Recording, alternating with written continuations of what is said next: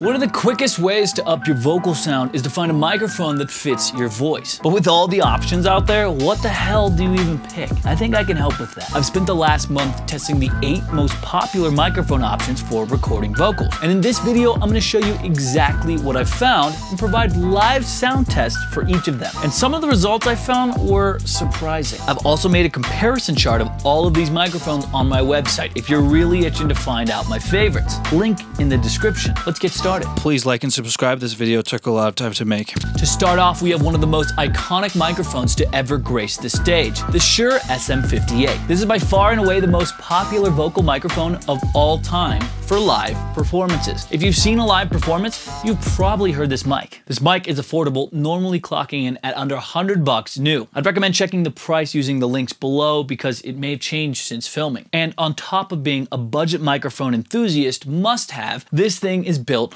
like solid steel. Are you worried about dropping your mic? Doesn't matter. Even a dented windscreen won't stop this bad boy. I, I think I have four of them and they're all dented. This mic is also great for studio recordings, especially on vocals that are recorded in untreated rooms without blankets on the walls or even DIY acoustic panels. I made a video on how to make your own DIY acoustic panels right up here if you want to learn. But this microphone isn't perfect. It lacks a lot of the high-end sparkle that other condenser mics have and isn't as ideal for studio recordings. For that reason, my final rating is a bit lower than some of the others. But enough of me rambling, let's hear how it sounds. For all the microphones, I'll play an unprocessed version with no plugins, and then I'll play a processed version. All of the vocal processing I'll use will come from my vocal preset pack Vocal Magic 1, which can transform a normal vocal recording into a radio-ready track with one click. And also, so the video isn't 40 minutes long, I'll only be showing a couple of song recordings in different genres to get an idea for the sound. If you want the full audio comparison and all the recordings, go visit my page on my website. Now, here's what the SM58 sounds like. Girl, don't walk away.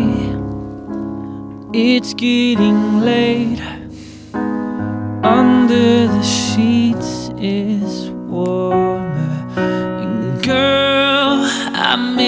You a place to feel my embrace.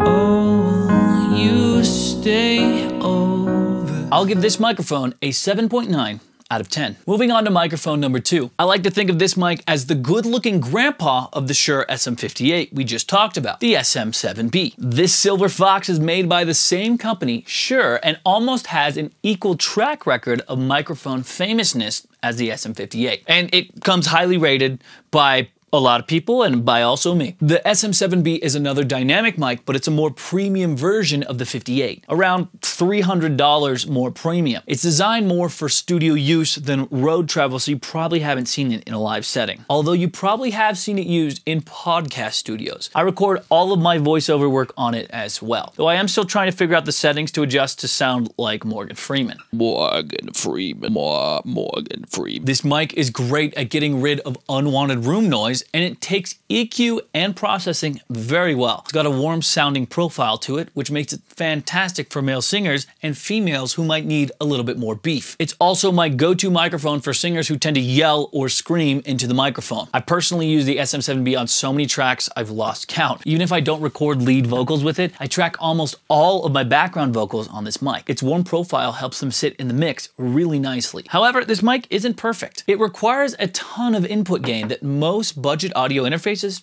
can't handle. That means you'll also have to purchase a device to help up the signal. The most common one and the cheapest is called a Cloudlifter. This had me knock some points off my final rating, but it's still a fantastic microphone. Also, fun fact, this is the mic that Michael Jackson used to record his Thriller album, so yeah, it's good enough for Michael. Let's hear what it sounds Waiting like. in the dark, I'm kicking these rocks into parked cars. I'm not a rock star, I never ever gone far. I'm just a man here sitting, wishing for a pool open, I could jump in it. Shout out to my friends, they always got my back. I would buy you all the glass if I only had the cash, but I'm a little short right now. I always wind up short somehow.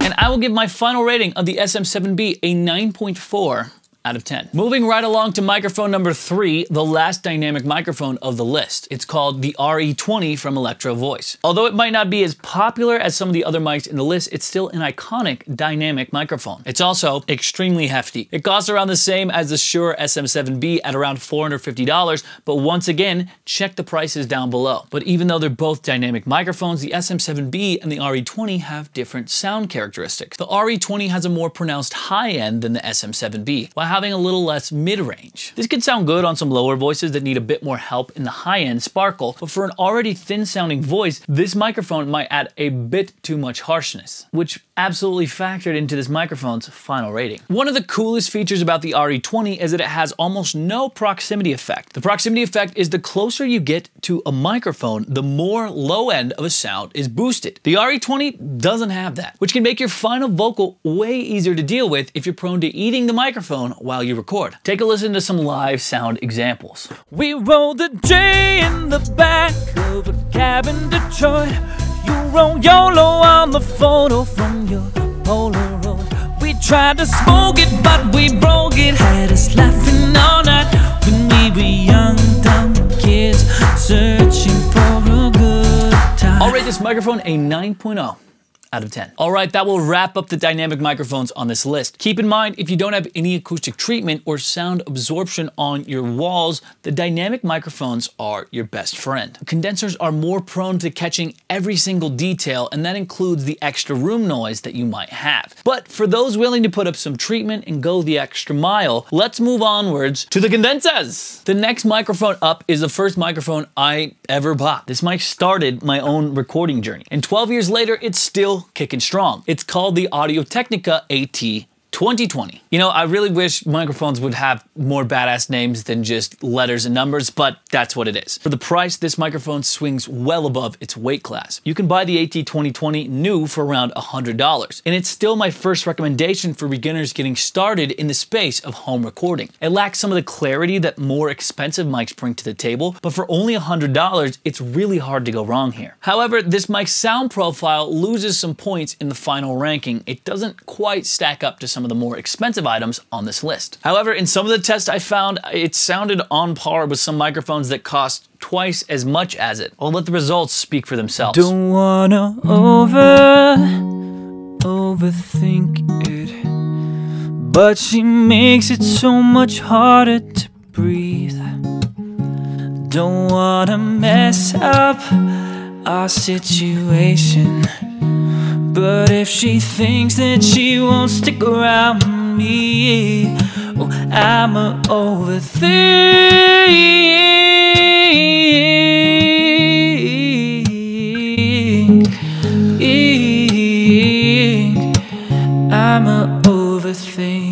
And for the final rating this mic, I will give it an 8.4 out of 10. On to the next microphone on this list. It comes from Rhodes and it's called the NT1. This microphone and the one that I tested happens to be the newest generation, Generation 5, which comes with a 32-bit float, which makes it almost impossible to distort. Kind of cool. Also, this microphone shouldn't be confused with the NT1A, which is its slightly brighter cousin. It's very similar but but different. The NT1 is a large diaphragm condenser microphone that's one of the best-selling large diaphragm condensers ever made. It's specifically geared towards the home studio musician and recording at home. Its budget-friendly price point of $160 makes it accessible for anyone looking to get a great starting microphone. It's a step up from the AT 2020 in price and in my opinion, sound quality. The NT1 offers a crisp, detailed sound recording that's filled with a lot of top-end shine. The shine sounds great on low voices, but I found it could be too harsh on others. And you guessed it, that absolutely will affect my final ranking. On my voice, I think it sounds pretty good, but I'll let you hear it for yourselves. Waiting in the dark, I'm kicking these rocks into parked cars. I'm not a rock star, I never ever gone far. I'm just a man here sitting,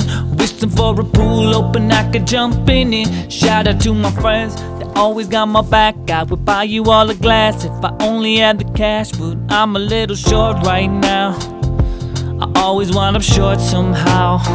For the final rating of the NT1, I'll give it an 8.6 out of 10. The next microphone I'll be covering is called the WA87 by Warm Audio. The WA87 is a condenser mic that was made to emulate the Neumann U87, one of the most popular vocal mics ever made, and it's quite the beast. The folks at Warm Audio did a pretty good job of getting it close, but the biggest kicker is this mic is only $700 new versus the Neumann U87, which will cost you around $3,200. You're getting a very similar soundscape and an almost identical body for way less of the price Nice. The WA87 has the Neumann vintage tone to it, with more of a heavy focus on the mid-range than some of the other condenser mics on this list. This means that your vocals might not sound as good right after the recording as others, but this mic takes EQ very well, and any warmness you record can be changed with some simple processing afterwards. This mic will also serve well as a studio workhorse, recording any and all types of instruments and voice types you throw its way. It's perfect for the musician looking to record vocals and other live instruments as well which gives it some extra points for my final score. Check out what it sounds like.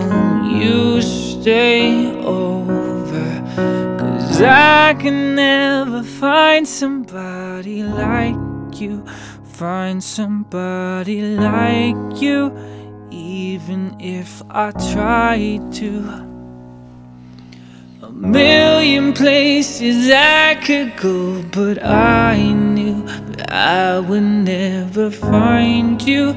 Find somebody like you. And for the final ranking of this microphone, the WA87, I will give it a 9.2 out of 10. The second to last microphone I'll be reviewing on the list is the AKG C214, and it was probably the most surprising microphone that I recorded. This is another large diaphragm condenser made to use on everything from vocals to drums to pianos. It's the little brother of another famous microphone called the AKG C14, and when compared, the C214 still holds its own. The microphone comes in at around $500 brand new, and it's a great mic for any vocalist to have in the studio. It's a solid step up in sound from the NT1 and the AT2020, providing a detail and clearness that the other two budget microphones are lacking. The microphone seems especially present to my ears in the high mids between 4,000 and 6,000 hertz. That range is one of the most important ranges to get right for that professional quality vocals, especially modern modern, hip hop, or pop vocals. And though you can always add in that range with EQ afterwards, the results aren't always the same. It's best to get it recorded right from the start with a nice microphone like the C214. This microphone might not be great for more laid back folk or acoustic tracks, but its clarity lends itself well to more modern hip hop or pop vocals like I mentioned earlier. Check out the recordings I took of this we one. We rolled a J in the back of a cab in Detroit. You wrote YOLO on the photo from your Polaroid.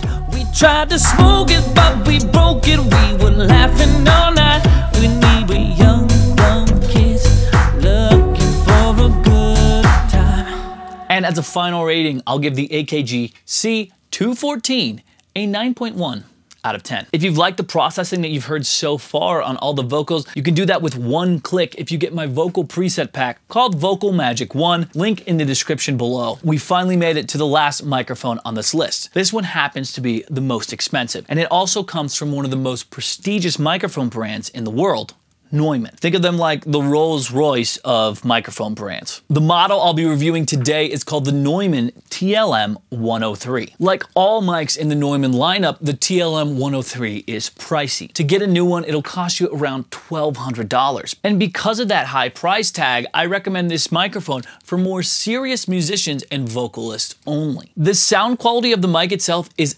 unbelievably crispy, and at times too much so. The TLM 103 has a heavy focus on the high end, which can deliver some amazing sounding vocals. Whenever I use the TLM 103, I find myself having to hardly EQ my voice at all. It's as if the sound profile was made for some ultra present and modern vocals right out of the box. But as I stated earlier, this high end focus can also be hard to get rid of. If you've already got a thinner sounding singer, especially a female singer, this extra brightness will probably be too much to handle. On the other hand, if you have a more robust and deep singer, this microphone will sound amazing. My biggest problem with this mic is the lack of versatility it has in the studio for its price tag. Although it sounds good on the occasional deep voice vocalist, its thin thinness can be hard to transfer to other instruments. Don't get me wrong, it still sounds great, but I had to take that into consideration for the final rating. I'll let you decide for yourself. Take a listen to the live sound results. Don't wanna over overthink it, but she makes it so much harder to breathe. Don't wanna mess up our situation. But if I think that she won't stick around me, oh, I'm a overthink.